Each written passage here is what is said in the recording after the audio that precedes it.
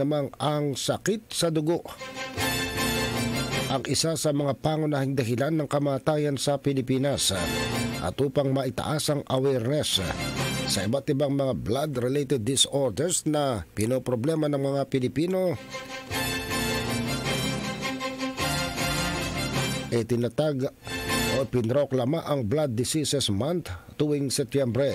Taong 2009 nang ang dating Pangulong si Gloria Macapagal Arroyo ay nagdeklara na ang Setyembre ay isang Blood Diseases Month sa pamamagitan ng Proclamation No. 1833 at designated ang Department of Health bilang lead agency sa aktibidad na ito para maitaas ang kalaman at maunawaan ng mga Pilipino ang mga karamdaman sa dugo natin ang pinagsamang epekto ng tatlong major blood-related diseases gaya ng leukemia, anemia at bleeding disorders ay malawak.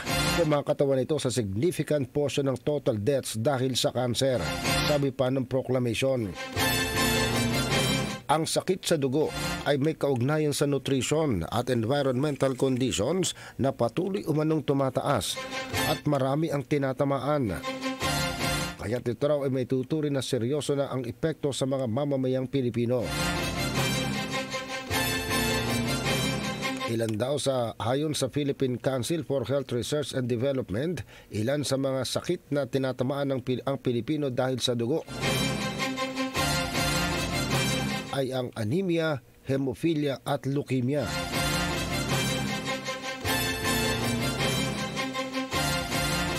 Ang anemia ang sinasabing pinakang madalas na mga nakikita o itong pinakang common blood disorder. Isa itong kondisyon kung saan ang katawan ng tao ay walang sapat na healthy red blood cells na nagtataglay ng oxygen patung sa iba't ibang parte ng katawan. Tinatawag din itong hemoglobin. Ang pagkakaroon ng anemia o mababa ang hemoglobin sabi ng U.S. Centers for Disease Control and Prevention ay pwede raw magresulta ng pangihina at laging pagod ng isang taong apektado nito. Tatlo rin ng iba't ibang klase ng anemia na madalas nakikita sa mga Pilipino. Samantalang hemophilia, hindi naman maampat ang pagdurugo at ito rin ay maraming tinatama ang mga Pilipino. Maituturing daw itong genetic disorder at ito ay nakikita sa pagtanda ng isang tao. Samantala, marami rin daw sa mga Pilipino ang tinatamaan ng leukemia. Ito ay isang uri ng kanser na nakakaapekto sa dugo at sa bone marrow. Ang cancer ay nangyayari kapag ang bone marrow ay nagpo-produce ng abnormal white blood cells, sabi ng mga eksperto ng DOH. Ang abnormal white blood cells na ito ay hindi raw sapat para labanan ng infection, kaya apektado ang ability ng bone marrow na makapag-produce ng red blood cells at platelets.